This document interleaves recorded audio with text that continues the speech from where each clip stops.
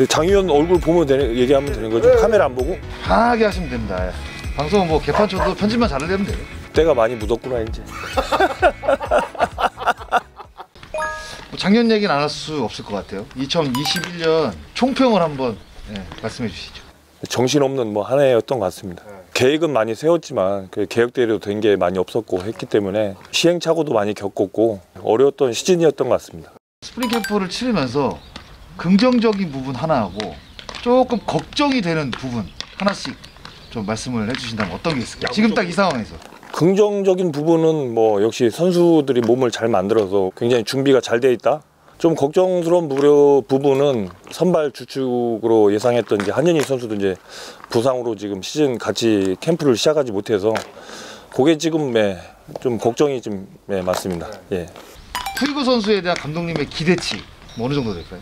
워낙 네임밸류가 높은 선수고 어, 기량적인 부분에서는 검증이 된 선수이기 때문에 다만 어, 우리나라 이제 투수들에 대해 어떻게 적응을 하느냐 그게 그좀 관건인 것 같은데 그래도 푸이그 선수에 대한 뭐 기대치는 높다는 거는 뭐 사실인 것 같습니다.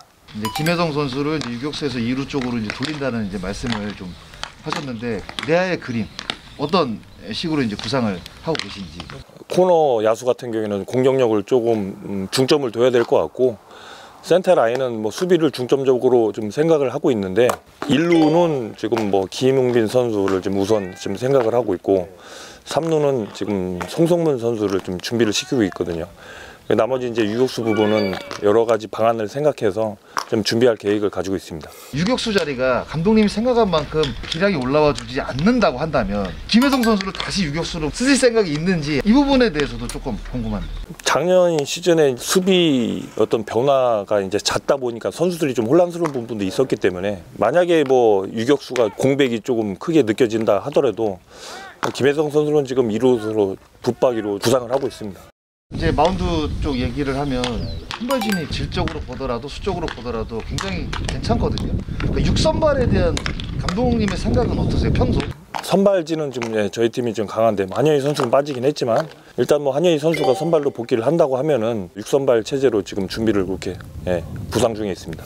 마무리로 이제 김태훈 선수를 낙점을 한 가장 뭐 큰 이유는 어떤 게 있습니까? 일단 타자와 승부를 뭐 제일 잘할 줄 아는 선수고 또 지금 작년에도 저희 팀 뭐 조상우 선수 공백이었을 때 마무리를 했기 때문에 뭐 제일 우선 순위로 지금 생각을 하고 있고 그렇게 좀 준비를 하고 있습니다. 오실 팀에서 주목해서 좀 봐야 될 선수 뭐 한 명씩 투타 한 명씩 역시 야수 중에서는 지금 예, 김혜정 선수가 작년에 뭐 풀타임 하면서 도루왕 뭐 타이틀도 차지했고 높은 곳까지 지금 올라왔다고는 생각하는데 저는 아직 이 선수의 가능성은 무궁무진하다고 생각하거든요. 예.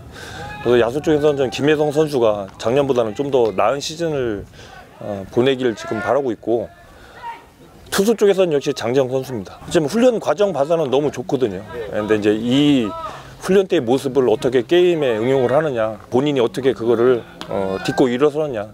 이제 그래서 야수 중에서는 김희성 선수하고 투수 중에서는 장재영 선수를 좀 뽑고 싶습니다. 감독님들한테 공통적으로 드리는 질문인데 키움을 포함해서 올 시즌 전망을 좀 봤을 때 5강에 들어갈 수 있는 다섯 팀 어려운 질문 하지 말라고 했는데 꼭 일단 키움 뭐 포함해서는 작년 우승팀은 KT 두 번째 역시 뭐 LG 삼성도 좀 올해 괜찮을 것 같습니다. 그리고 네 번째가 NC가 또 조금 올해 괜찮지 않을까 이렇게 저희 팀 포함해서 다섯 팀입니다. 예. 만약에 첫 우승을 하신다면 뭘 하겠다 공약 한 번만 저한테 술을 사겠다 뭐 이런 것들 이 코로나 때문에 지금 팬분들이 작년 시즌에도 이제 야구장을 많이 못 찾아오셔서 굉장히 조금 힘든 시즌이었고 선수도 역시 이제 팬분들이 같이 할 수 없는 그런 부분이 굉장히 힘들었습니다. 그래서 공약이라 하면은 저는 음, 우승하면은 그쪽 돔에서 팬분들 모셔서 한번 1박 정도 어, 야영 예. 하면 저희 뭐 선수들 데리고 뭐 서빙도 하고 예. 그런 걸 좀뭐 예, 구상을 한번 해보고 공약을 좀 걸고 싶습니다. 키움 히어로즈 팬분들께 올 시즌 임하는 투사표 맞습니다. 예. 작년 시즌 역시 이제 코로나 때문에 많이들 힘드셨을 텐데 어, 올해는 작년보다 조금 나은 환경에서 야구장에들 많이 오셔서 어, 저희와 많은 승리를 함께 누리셨으면 좋겠습니다. 끝까지 응원해 주십시오. 감사합니다.